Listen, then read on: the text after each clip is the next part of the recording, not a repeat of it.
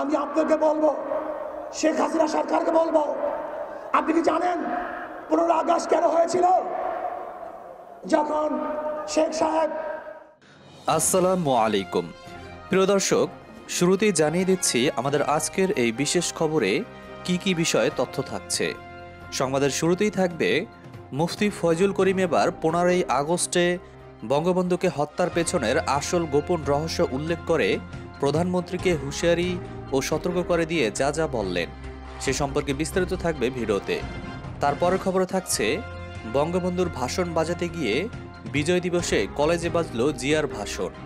এরপর সেখানে যা ঘটল, সে সম্পর্কে বিস্তারিত থাকবে ভিডিওতে। এছাড়াও খবরের শেষ অংশে আরও থাকবে, আলেমদের সাথে স্বরাষ্ট্রমন্ত্রীর বৈঠক প্রসঙ্গে সরাসরি যা বলে দিলেন ওবায়দুল কাদের। সে সম্পর্কে বিস্তারিত সহ আজকের অন্যান্য সকল আপডেট নিউজগুলোর বিস্তারিত জানতে ভিডিওটি শেষ পর্যন্ত আমাদের সাথেই থাকুন। বরিশাল মহানগর ইসলামী আন্দোলন বাংলাদেশের সমাবেশে ইসলামী আন্দোলন বাংলাদেশের সিনিয়র নায়েবে আমির ও শায়েখে চরমনাই মুফতি সৈয়দ মোহাম্মদ ফজল করিম বলেছেন, জেল ও কেসের ভয় দেখিয়ে লাভ নেই। আমরা যদি অন্যায় করে থাকি, তাহলে আমাদের জেলে দিলেও আপত্তি নেই। কিন্তু অন্যায় না করেও জেলে ঢোকানো হলে দেশের জনগণ তা মানবে না। বিজয় দিবস উপলক্ষে বরিশাল নগরের ফজলুল হক এভিনিউতে বুধবার বিকেলে আয়োজিত এক সমাবেশে বক্তব্যে এ কথা বলেন তিনি। সমাবেশে ফজল করিম সরকারের উদ্দেশ্যে বলেন, সরকার ভাবছে জেলের তকমা এবং কেসের তকমা দেখালেই তারা ইঁদুরের মতো পালিয়ে যাবে, কিন্তু তারা ভয়ে পালাবেন না।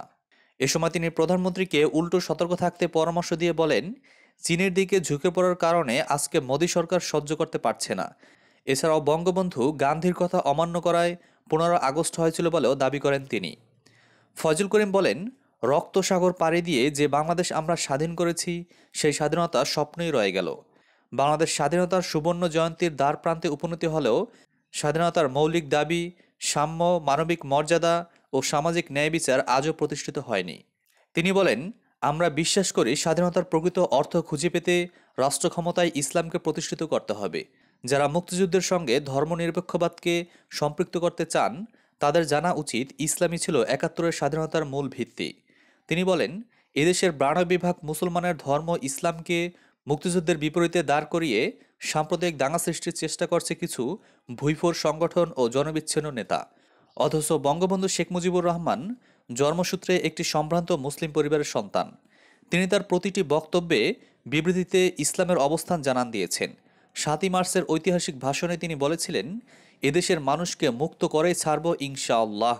তার সে ঐতিহাসিক ইনশাআল্লাহর ধ্বনিতে উজ্জীবিত হয়ে এদেশের মুসলমানরা স্বাধীনতা সংগ্রামে ঝাঁপিয়ে পড়েছিল। দীর্ঘ নয় মাস সংগ্রাম করে এ ভূখণ্ডকে স্বাধীন করেছে। সেই সংগ্রামী মুসলমানদের বাদ দিয়ে এদেশের স্বাধীনতা সংগ্রামের ইতিহাস কল্পনাও করা যায় না। বুধবার দুপুরে বরিশাল নগরের ফজলুল হক এভিনিউতে ইসলামী আন্দোলন বাংলাদেশের বরিশাল জেলা ও মহানগর কর্তৃক আয়োজিত বিজয় রেলি পূর্ব সমাবেশে প্রধান অতিথির বক্তব্যে মুফতি সৈয়দ মোহাম্মদ ফয়জুল করিম এসব কথা বলেন। তিনি আরও বলেন, মুক্তিযুদ্ধে মুসলমানদের অবস্থান কী ছিল? প্রকৃত মুক্তিযোদ্ধারা তো ভালো করেই জানেন, নতুন করে সেটা প্রমাণ করতে বক্তব্য বিবৃতি জরুরি নয়।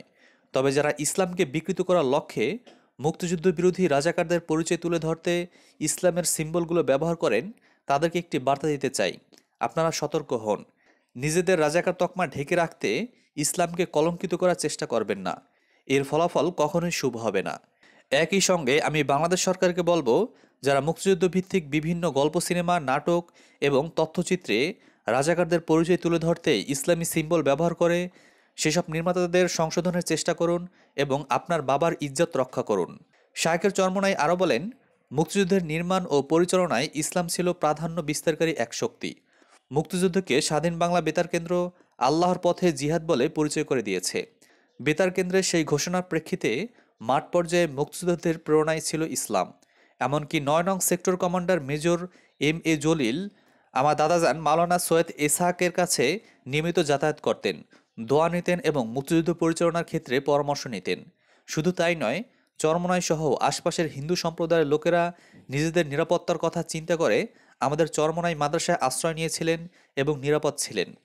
আমার দাদাজান মুক্তিযোদ্ধাদের পাশাপাশি মাদ্রাসায় আশ্রয় নেয়া হিন্দু সম্প্রদায়ের লোকদের থাকা ও খাওয়ার ব্যবস্থা করেছিলেন।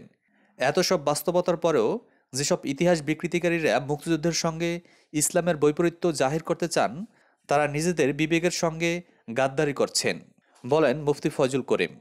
এদিকে এবার রাজশাহী তানর আব্দুল করিম সরকার সরকারি কলেজে মহান বিজয় দিবসে ঘটেছে গুরুতর ভাষণ বিভ্রান্ত। বঙ্গবন্ধুর ভাষণ বাজাতে গিয়ে বাজানো হয়েছে বিএনপির প্রতিষ্ঠাতা সাবেক রাষ্ট্রপতি জিয়াউর রহমানের ভাষণ।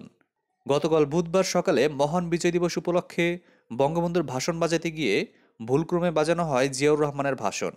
এদিকে এ ঘটনা টের পেয়ে আওয়ামী লীগ ও সহযোগী সংগঠনের নেতারা ছুটে গিয়ে জিয়াউর রহমানের ভাষণ বাজানো বন্ধ করেন। এই ঘটনার পর কলেজের অধ্যক্ষের এমন দায়িত্ব অবহেলায় স্থানীয়দের মধ্যে চরম ক্ষোভের সৃষ্টি হয়েছে।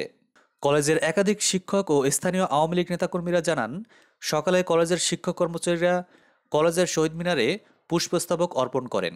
এ সময় কলেজের নিজস্ব সাউন্ড সিস্টেমে বাঁচতে শুরু করে সাবেক রাষ্ট্রপতি জিয়াউর রহমানের ভাষণ। বিষয়টি প্রথমে অধ্যক্ষ শিক্ষক কর্মচারীরা কেউ খেয়াল করেননি। তবে স্থানীয় গোল্লপাড়া বাজারে অবস্থানকারী দলীয় নেতাকর্মীরা শুনতে পেয়ে কলেজে ছুটি গিয়ে ভাষণ বন্ধ করেন। পরে বঙ্গবন্ধুর ভাষণ সংগ্রহ করে সেটি বাজানো শুরু হয়। এদিকে সড়ক পরিবহন ও সেতুমন্ত্রী এবং আওয়ামী লীগের সাধারণ সম্পাদক ওবায়দুল কাদের বলেছেন, সাম্প্রদায়িক অপশক্তিকে রুখে দেয় এবারে বিজয় দিবসের অঙ্গীকার। আমাদের শপথ হচ্ছে, শেখ হাসিনার নেতৃত্বে আমরা মুক্তিযুদ্ধের সব শক্তিকে ঐক্যবদ্ধ করে সাম্প্রদায়িক অপশক্তির যে বিষ বৃক্ষ ডালপালা বিস্তার করেছে, সেই বিষ বৃক্ষকে আমরা সমূলে উৎপাটন করব। গতকাল বুধবার মহান বিজয় দিবস উপলক্ষে সাভারে জাতীয় স্মৃতিসৌধে দলের পক্ষে ফুল দিয়ে শ্রদ্ধা নিবেদন শেষে তিনি সাংবাদিকদের এসব কথা বলেন। ধর্মীয় সংগঠনগুলোর নেতাদের সঙ্গে বৈঠকের বিষয়ে ওবায়দুল কাদের বলেন, বঙ্গবন্ধু পাকিস্তানিদের সঙ্গে বৈঠক করেছেন। তারা কি চেয়েছিল তা জানতে। তাদের, অর্থাৎ ধর্মীয় সংগঠনের সঙ্গে বৈঠক করা হয়েছে, কারণ আমরা জানতে চাই তারা কি চায়।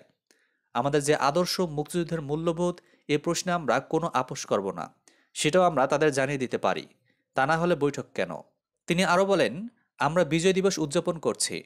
কিন্তু এখনও বাংলাদেশের স্বাধীনতার আদর্শ মুক্তিযুদ্ধের চেতনার বিরুদ্ধে লড়াই করে যাচ্ছে একটি অশুভ ও সাম্প্রদায়িক শক্তি। এবারকার বিজয় দিবসের অঙ্গীকার হচ্ছে, আমরা মুক্তিযুদ্ধের চেতনা ও সাম্প্রদায়িক শক্তিকে রুখব। তিনি আরও বলেন, একদিকে উনিশশো সাতচল্লিশের চেতনা, অন্যদিকে একাত্তরের চেতনা। একদিকে সাম্প্রদায়িকতা, আরেকদিকে অসাম্প্রদায়িকতা।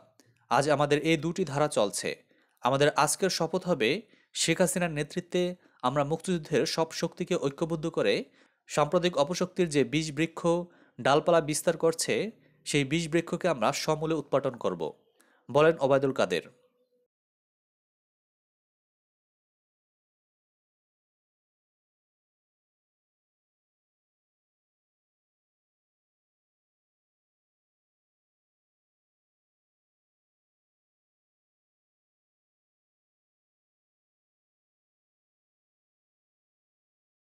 বিনোদন জগৎ ও সাম্প্রতিক ঘটে যাওয়া সকল প্রকার আপডেট খবরাখবর সবার আগে পেতে আমাদের আর এস ভয়েস টিভি চ্যানেলটি এখনই সাবস্ক্রাইব করে আমাদের সাথেই থাকুন।